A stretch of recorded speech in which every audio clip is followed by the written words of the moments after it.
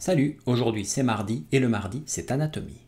Et une fois de plus, sans transition avec le mardi dernier où je vous avais parlé du muscle gastrocnémien dans le mollet, aujourd'hui je vais vous parler des os du poignet. Bah oui, comme au final il faut connaître toute l'anatomie du corps humain, moi je prends des pièces de puzzle un peu à gauche à droite, mais au final ce sera joli, vous allez voir. Le poignet est anatomiquement la zone qui est comprise entre l'avant-bras et la main. Cette zone de jonction est particulièrement importante car elle est le passage de tous les tendons qui permettent les mouvements du poignet et des doigts, mais également de quelques nerfs et de vaisseaux sanguins. La main, c'est un peu ce qui fait de nous des hommes, et ces nombreuses capacités nous ont permis d'évoluer depuis des milliers d'années pour en arriver aujourd'hui à moi devant la caméra et vous devant votre écran. Pour préciser encore un peu les choses, les os du poignet font la jonction entre le radius et le cubitus d'un côté et les métacarpiens de l'autre côté qui forment le début de ce que l'on appelle les doigts. Ah oui, au fait, précision, on appelle ça le carpe, pas la carpe ou le capre, le carpe. Les os du poignet sont organisés en deux rangées. La première rangée, qui est donc en articulation avec le radius et le cubitus, est composée de quatre os. Depuis le côté du pouce jusqu'à l'auriculaire, on trouve donc le scaphoïde, le semi-lunaire, le pyramidal et le pisiforme.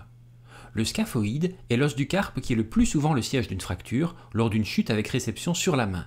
Cette fracture est souvent difficile à repérer sur une radio dans les premières heures et nécessite souvent de réaliser une deuxième radio deux semaines après la première pour être visualisée. Le semi-lunaire est situé entre le scaphoïde et le pyramidal. Il est parfois sujet à une fracture d'écrasement en cas de traumatisme. Le pyramidal est articulé avec le semi-lunaire et le pisiforme. Le pisiforme, enfin, ne s'articule qu'avec le pyramidal et est malgré sa petite taille le lieu d'insertion de plusieurs muscles et les constitue une face du canal carpien. La deuxième rangée du carpe est composée de quatre os également. Dans le même ordre, du pouce vers l'annulaire, on trouve l'os trapèze, le trapézoïde, le grand os et l'os crochu. Le trapèze est situé à la base du pouce et est souvent le siège d'arthrose en raison de son utilisation souvent excessive. Le trapézoïde est situé entre l'os trapèze et le grand os. Le grand os est, comme son nom l'indique, le plus grand des os du carpe. Il possède un rôle central en raison de sa taille et de sa position. Enfin, l'os crochu est un os qui présente une excroissance osseuse de laquelle il tire son nom. Cette excroissance est le siège de l'insertion de nombreux muscles de l'auriculaire. Et enfin, je voulais terminer cette vidéo en vous donnant un moyen mémotechnique pour vous souvenir des os du poignet. Mais les seuls moyens que je trouve, c'est ceux du genre ChatGPT que je vous ai donné il y a quelques jours, ou des noms en latin. Franchement, ça m'aide pas beaucoup.